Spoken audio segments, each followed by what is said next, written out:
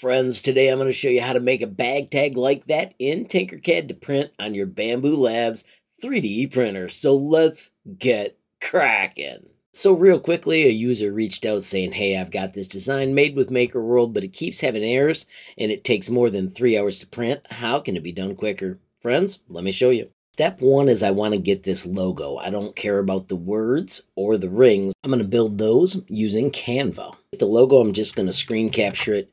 I've got a shortcut that lets me grab it. I'm going to simply grab the entire thing, and then I'm going to get rid of the parts I don't want. I'm going to show you how to easily get rid of the rest using Pixlr. I could do it here in Snagit, but not everybody has Snagit. So right now I want to export this as a PNG. I've got a special tool where I can click the Dropbox. I'm just going to click overwrite because I'd already created this a moment ago. Now you can pick your own image editor. I love Pixlr Express because it is free. We can simply open the image. I just need to find the PNG I created a moment ago and choose open. Friends, we are going to remove everything except the blue super quickly. I'm going to go to cutout. I'm going to choose the magic tool, remove. I'm going to increase the tolerance and I want to make sure contiguous is off. Now when I click on any of the red, it all goes away. I'm going to bump up that tolerance a little bit more and get this color. Notice it's gone. Now I'm going to get rid of the white. And then I just want to get rid of this stuff out here on the edges. Notice if I zoom in, I can find a few specks. And when I click on them, it clears it all out. It's that quick. Now we're going to also use the paintbrush. I'm going to shut off any softness. I'm going to make it large. And I'm going to just make sure there aren't any pieces out here. You can see there's a little piece right there.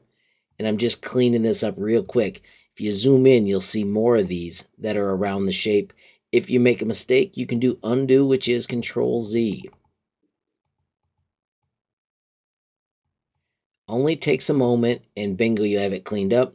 There's a few inside here. I'm going to make the brush smaller and get those as well.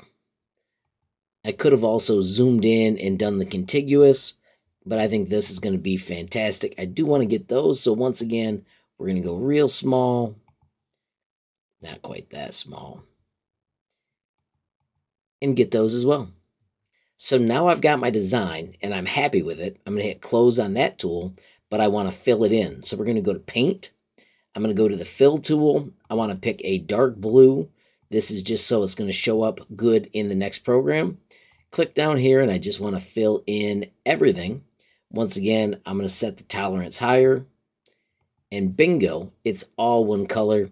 If we zoom in, we can also get these edges, which helps as well. With our one color design, I'm going to click on the background and set it to white, apply it, and I want to export this to use in another program. When we hit save, we're going to save JPG and high and simply hit save as. And I'm going to simply name it Wave JPG. Notice you only get three of these a day and I've already burned through two. So do be efficient in your saves. We're going to create the words in Canva. Once again, I choose sign in with Google and then I'm going to create this with an Instagram square post. Let's start with the text. Add a text box put in our words. I copied those words. Notice they are not all caps here, but I can fix that by simply by clicking this uppercase button. I'm going to pick a font that's a little bit thicker. I like Anton. I think that's going to print better. And then we need to bend it. I'm going to do that with the effects, the curve, and then we can adjust that curve to whatever we want for our shape. Let's do the words underneath by doing Control D to make a second set move it down just a little bit and change it to say established 1976. In order to flip it the other way, we need to click on effects and simply slide the curve to the other side. Just get it close. We'll do a lot of aligning later. Now we just need to add the circles. Under elements, we're going to bring out a circle. We need to make the circle larger. Note if you grab the corners, it scales evenly. So I'm going to do the outside ring once again, I am going to make it no fill, but I am going to give it a border. I'm going to do a border weight of 8. Friends, I'm going to simply click on that and do Control D to make a duplicate. And then I'm going to make it quite a bit smaller while holding Shift. This makes it scale the same amount in every direction. Now I can grab all of these And when I click on the align button, I can align them in the center. Now I want these two to be aligned in the center, but not the others. So I'm going to just click on that and do align as well. I want this to be in the middle. Bingo, I've got my parts spread out. Notice this one is not quite as small as I want. So I'm going to just do Alt Shift Squeeze and make it a little bit smaller in the middle. How cool is that? That is how you can use align and nudge to get your pieces exactly where you want. Now we need to turn this into an SVG. I do it with a screen capture tool. Right there, I hit the shortcut to grab it. Now we can simply click on the button. It goes to Snagit. I quickly hit finish. When that completes, I can click on Dropbox and it saves it as a PNG so I can use it in my other programs. Now we can bounce to PicSVG and we're going to upload that picture. I'm going to choose that wave first. And then it tries to convert it. Notice this gives us the awesome outer edge. I want to instead use the internal so it's a single design. Just like that, we've got a smooth logo that we can use in our project in the downloads. Of course, I'm going to call that wave as well. Now we can simply repeat those steps with our logo from Canva. And let's grab that new design that we created.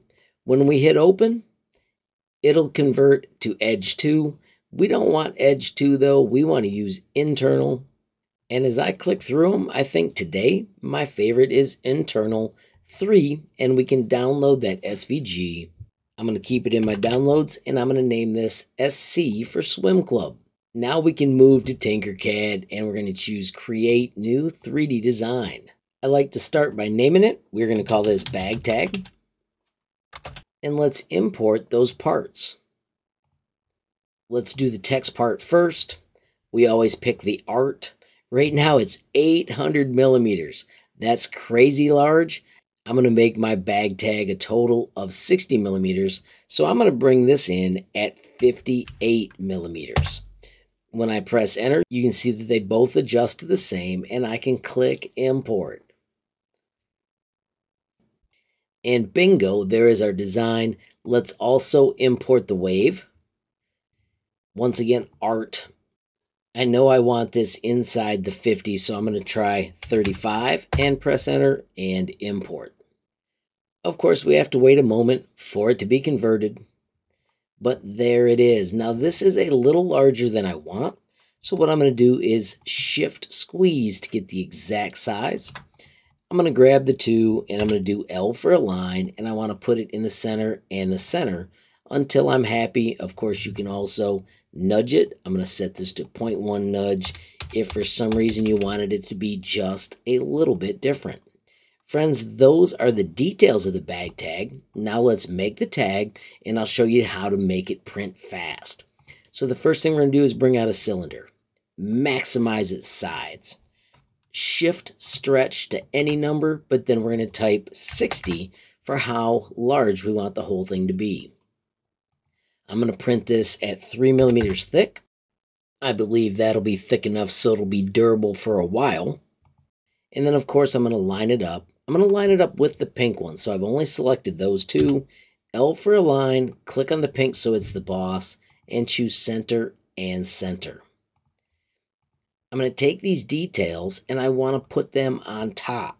So I'm doing W for work plane, clicking on the orange, and I'm going to do D to drop so the pink pops all the way up. I'm going to change its thickness to 0.4 and press enter. I'm going to click on the wave and change its thickness to 0.4 and press enter. And I'm going to hit D to drop that wave up top as well. Let's get our colors matched up quick. I'm going to change this to white. I'm going to make all the words the red. And bingo, we've got the wave. We have created our bag tag. We just need to add the hook. We're going to do that with a cube. I'm going to tell you to shift shrink this and type 8. I'm going to also tell you to use the round roof and I'm going to cruise it on top. We're going to shift shrink it and type 8 as well. Now we can grab those two, choose L for align, make the cube the boss, choose center and center. If you take a look at that, you can see how that is our tag. We simply need to select the two and do Control G to group.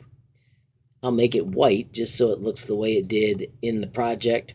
And then we're going to rotate it 90 degrees. So when you click on it, I like to look at it from a corner and find this rotation handle. And if you stay inside that circle, it only takes four clicks to get it so it's laying down. If you hold down shift, it goes 45 degrees at a time. If you move the mouse a long ways away, it goes one degree at a time. Notice you can click in the box and type the number you wanted and get it that way as well. Lots of ways to get it where you want. Now I'm going to do D to drop so it's on the bottom and we're going to change that thickness to the three that we did for the entire project. Move it into place. You can stick it in as far as you want. I'm going to shift select the white. Notice it says two shapes. Make the large circle the boss and center it. Now we can bring out a hole to add to this. When we bring it out, I'm going to make the sides round. Of course, you got to make sure it's a hole. And then I'm going to put a size 5 hole in here. So I'm going to shift shrink and type the number 5 in one of those boxes. Now we can line it up by selecting it, do an L for a line, and I want to bring it to the middle of the white one, and I'm going to put it at the top. Select it and use the arrow key to move it down to the exact spot I want. Finally, we can grab those three items. Notice I did not touch the red, and we can hit Control G to group.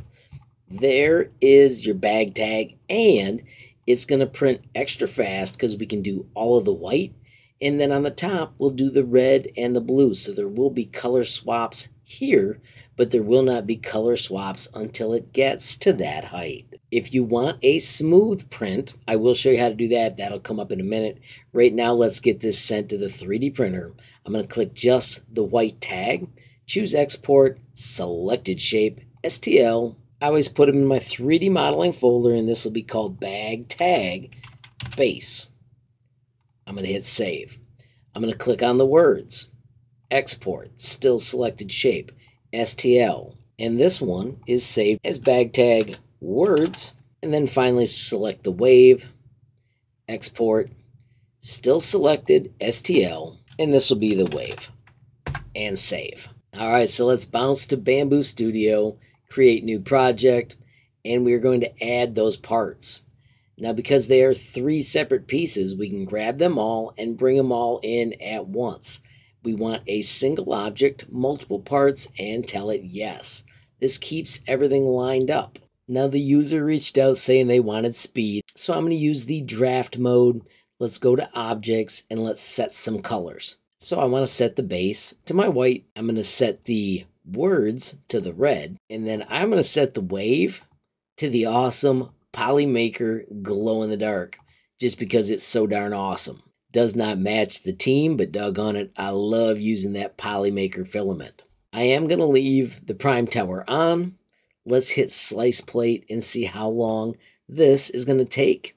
Check it out, multicolor in about 23 minutes.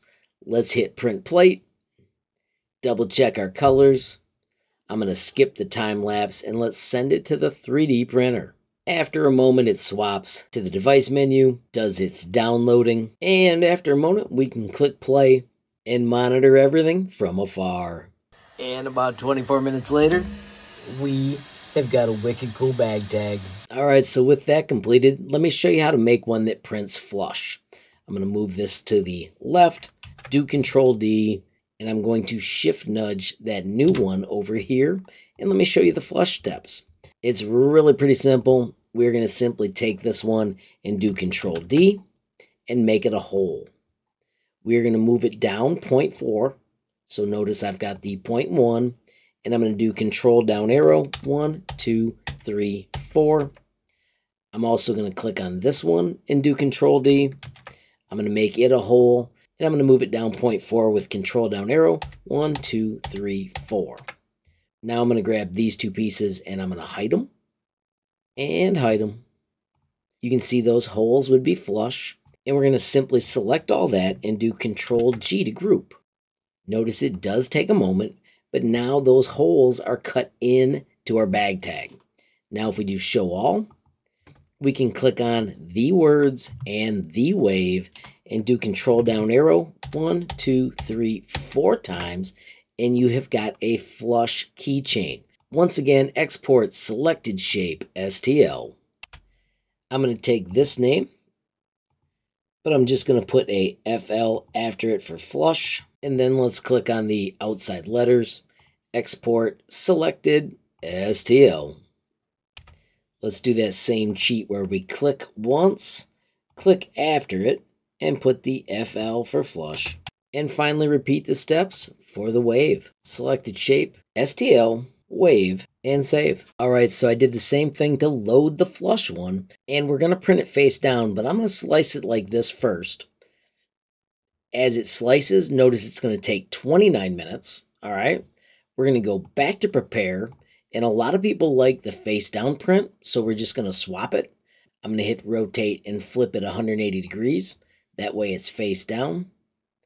And then once again, when we hit slice plate, you can see now the same project takes about 31 minutes. So we've got two more minutes of print time, but we get that awesome face down print. Simply hit print plate, double check the colors, and let's send it to the 3D printer. And 30 minutes later, bag tag created. I do also want to highlight part of that speed increase is just how little prime tower it takes to make it. Friends, as I wrap up, I want to say thanks to Mike for the original question. User inspired projects are some of my favorites. Finally, I also want to say thanks to all my supporters on Patreon. Love how that community is growing, and don't forget you can find links to it in the information below. Finally, friends, I also want to say thanks to you for watching this video. Every time you click like, add a comment, share the video, or hit subscribe, you're helping HL Mod Tech get just a little bit bigger, which makes my day. Of course, friends, have a glorious day and keep tinkering.